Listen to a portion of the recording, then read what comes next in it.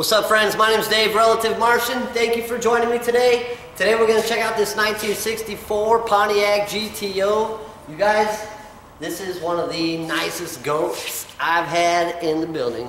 And I'm not kidding you, this is one of the funnest cars that I've had. Uh, it's, it's got a 428 bored over 30. It's powerful, man. It's got a, a M21 four-speed in it, and it's freaking fast, you guys. So honestly, I don't even understand everything in, the, in this motor. So I have a ton of receipts for everything they did to this motor. I have PHS documents as well. So this is an original 64 GTO that came black with a three-speed. Um, over here you can see I have the original block, so that's a matching numbers block uh, to the PHS documents to this car when it was sold new. But you guys, this car was fully restored. I mean, every single bit of this car has been redone. All the chrome is immaculate. There isn't any pitting. All the seals are good. Everything works. It's dialed right in. And I mean, it's freaking fast. This car is easy to enjoy. I am not exaggerating. So let me just run through this. I'm just going to read this to you because honestly, I don't even understand what all this stuff means. But I just want to tell you. So uh, this motor is a 428, came out of a 1969 Grand Prix, 4-bolt main, bored 30 over. Uh, I should have all the receipts for all that, and again, that's a 4-speed M21 Muncie. Um, it came out of a 67 GT, uh, but the case has been changed, and someone used a 68 case. It has a double roller chain in it, and has a hydraulic roller camshaft 520, 540 lift. Uh, has rocker girdles on the rocker arms. The heads are stock on the engine. They have never been cut on. I think the carburetor is a 950 Kaufman. Um, has a stock oil pump in there. Um, and Nash, Doug Nash headers, um, which are, man, I'm telling you what, I don't, this thing is exactly the way anybody wants to get out and enjoy an old school hot rod. The exhaust is clean, it's primo. Every single bit of this car is respectable at any car show. Um, we have a lot of documentation, a lot of, um, a few spare parts to go with it. So anyways, you guys, in this video, I'm going to show you everything. I'm going to give you a cold start. I haven't started this motor since I parked it here, and it's been about a week and a half. So I'm going to give you a cold start. I'll let you hear it run. I'll, uh, I'll shut the doors for you. I'll, I'll pan in, I'll pan out. I'll show you everything. I'll show you the interior. I'll let you see underneath of it. You guys, you can hang this car up. And you, I mean, you can eat from the bottom of this car. It is as clean underneath of it as it is right here that you see it. So I know the car looks black. There's a ghost flame in here. You can't see it from this angle. Uh, but I'll be sure to pan in so you can see that. I'll show you the interior. The seats are beautiful, man. This car is freaking sweet. So, anyways, wheels are hot, tires are good, brake, you can drive this car anywhere right now, and uh, you will love this car. So I hope you enjoy the video. Hit the like button, do subscribe. I got, um, I got some more videos I need to get together. I'm so far behind. You guys, I just put a uh, stereo on my Cadillac. I put a Tesla screen in there with two amps and some subs, and I'm working on a video on that. I got a couple other cars around here I need to get videos done of as well. So I hope you enjoyed the video, and uh, let's get to it. Thanks for watching.